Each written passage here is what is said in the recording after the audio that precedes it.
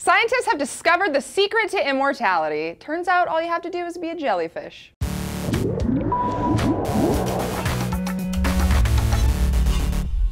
Hey guys, Tara here for DNews with yet more reason we should be terrified of the ocean and everything in it. In 1988, scientists uncovered a species of jellyfish called Turritopsis dohrnii that can reverse its aging process, effectively making it immortal. Researchers now studying it to see how exactly it can do this in hopes that someday we might be able to do the same. The immortal jellyfish, as people are calling it, stays alive by regenerating into a polyp, which is its earliest stage of life, as it ages or whenever it experiences illness or trauma. It then spends three days doing that, after which it eventually becomes an adult again. This is one of the only known animals on Earth capable of evading death in this manner, but they are notoriously hard to study in captivity. To keep them alive in a laboratory environment, they have to be continuously monitored, which is exactly what one scientist at Kyoto University has been doing. Shin Kubota has devoted his life to studying these creatures, and he's managed to keep an entire colony of them alive in his lab, which requires an intense amount of dedication. He frequently changes their water, feeds them tiny little shrimp by hand,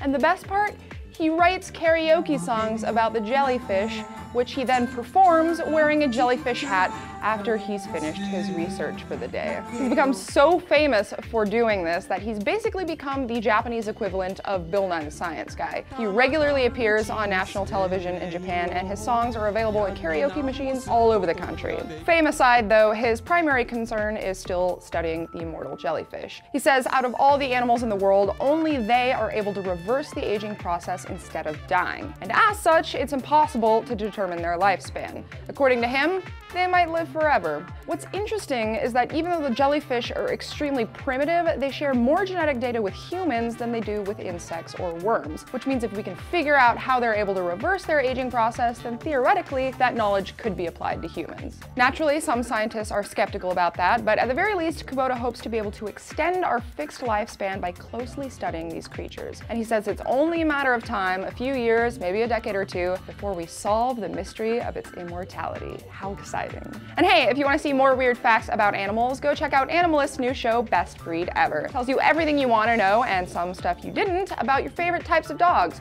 For example, did you know that two Pomeranians are called a puff and three Pomeranians are called a tuft? I didn't think they could get any more adorable, but there they are. There are new episodes every Wednesday and Friday, so go check those out. And in the meantime, if you have questions, comments, anything you want to say about this episode, leave them in the comments below. Otherwise, thanks for watching.